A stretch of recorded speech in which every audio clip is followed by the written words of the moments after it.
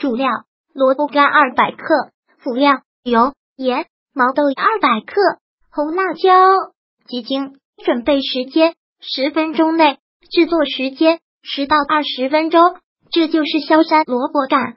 把萝卜干切碎，是鲜的毛豆不是速冻的。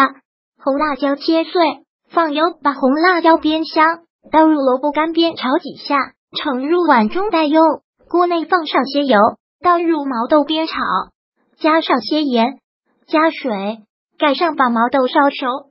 等锅内基本上没水了，再倒入萝卜干翻炒，加鸡精调味。装盘。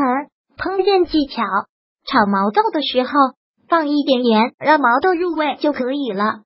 假如你平时一个菜需要两克盐的话，炒毛豆放一克盐就可以了。萝卜干是咸的，这样可以防止太咸。健康最重要吗？如果喜欢本视频，请分享并订阅本频道，别忘了按赞哦。